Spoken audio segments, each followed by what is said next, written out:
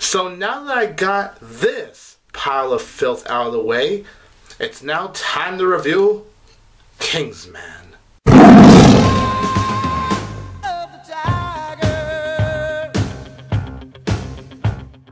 Hello there, viewers of the spy organization Kingsman. This is your reviewer, 22 Tiger Dude, and I am here to review Kingsman the Secret Service. Kingsman The Secret Service is directed by the one, the only Matthew Vaughn, who also brought you Kick Ass and X Men First Class. So, Kingsman The Secret Service stars Colin Firth, Samuel L. Jackson, Michael Caine, and Taron Egerton. And this movie is about the spy organization that recruits this street kid named Eggsy. Eggsy, he lives during a troubled life. So, Colin Firth goes to get Eggsy and wants to recruit him to be in this very competitive training program in order for him to get into the Kingsman organization. So, with all that happening, a huge global threat is happening when this tech genius named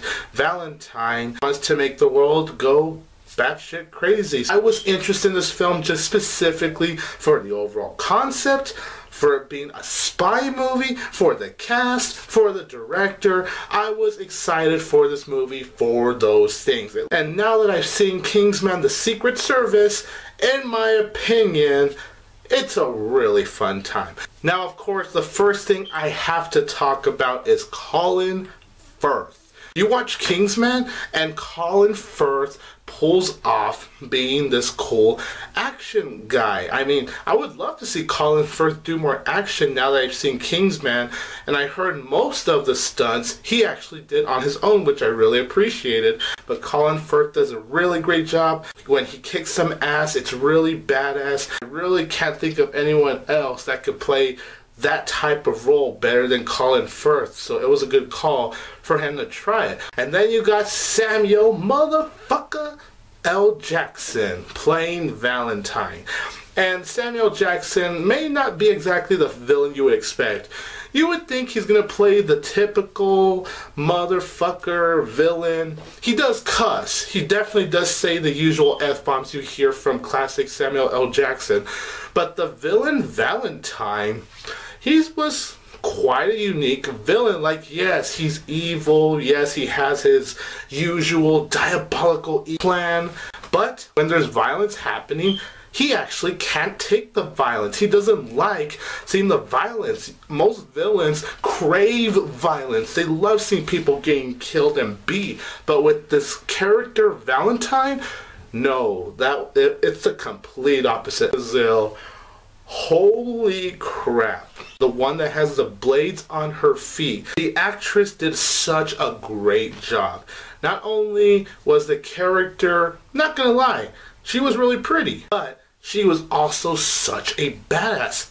And she was just an interesting character. And the choreography and how she uses the blades, it's freaking badass. All the acting here is really good. I can't really say there's a bad performance here. I really like Michael Caine here. Taron Egerton, who plays Eggsy, I thought he did a nice job, and I can honestly see a bright future with the actor Taron Egerton. He just did a very awesome job. Movie has the X-Men First Class feeling where you have the team training, and that's what Kingsman is. Most of the movie is them focusing on training. Most of the movie is just Valentine planning his diabolical plan. But the cool thing about Kingsman is how it does have this nice homage to the old school spy movies. It plays a little satire in it actually, because this movie does do a lot of mentions of the spy movies. Like there's plenty of times where this movie will mention James Bond. And holy shit, this movie is rated R for a reason, but it is flat out bloody in some moments, particularly this one scene inside a church. Holy fuck. That scene had to be one of the most bloodiest, most craziest, most wild action sequences I've ever seen. And it is my favorite action sequence in Kingsman cinematography for the movie also looks really gorgeous. I thought the lighting was very proper. You could see everything that goes on. Every shot looks very well done. Matthew Vaughn, he does a really good job directing this movie. Like one of the things that's part of this competitive training program for the kids competing to be in the spy organization is that they had to skydive. And all I'm gonna say is that that skydiving sequence in this movie had me at the edge of my seat. Obviously with Matthew Matthew Vaughn. He really knows his filming style. This movie is basically Kick-Ass meets James Bond with some elements of X-Men First Class put together. But it really is Kick-Ass and James Bond because James Bond, you have the spy stuff, the spy gadgets that were in this movie were badass, but you also had Kick-Ass with some of the ultra bloody violence. There's a moment in the finale of the movie, which I won't spoil, but this particular moment that happens in the finale, and you might know what I'm talking about if you've seen the movie.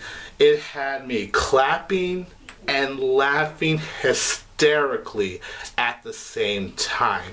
So, and it was something unique too. Not only were the action scenes fun, not only is it just a well directed movie, but I do have to give a lot of credit to the writing because the writing was smart, it was clever, how they handled this concept was very solid and very well done. But Now, I did have some problems with Kingsman The Secret Service, and one of my problems with this movie is that there really wasn't as much action as I thought there was gonna be. And because of that, there are moments, just some moments, where I felt like the movie really was dragging. In terms of dragging, that's the same issue that I actually had with the original Kick Ass. But see, at least with Kick Ass, I could say that movie had enough action scenes. With Kingsman, I felt like there weren't enough action scenes. While the finale is really entertaining to watch, I really felt like it didn't give me the adrenaline rush that the other action scenes, the church scene included,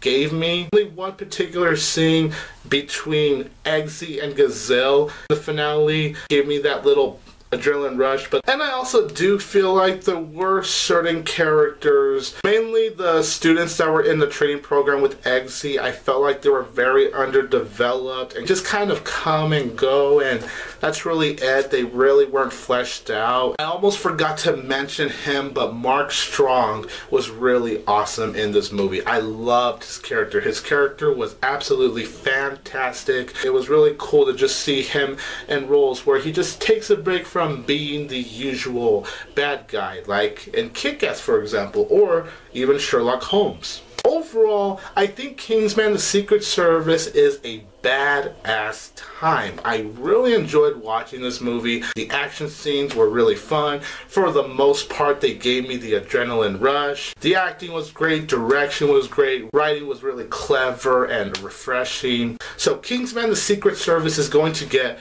three out of four stars from me. So comment down below and let me know what did you think of Kingsman The Secret Service. And also you guys, I got to be on Mark Krawczyk's channel to spoil and discuss Kingsman The Secret Service along with Jupiter Ascending. It was a really fun discussion, so if you want to check it out, I'm going to leave a link to that in the description below. This is your Kingsman 22 Tiger Dude. And don't forget that I will always have Tiger Power.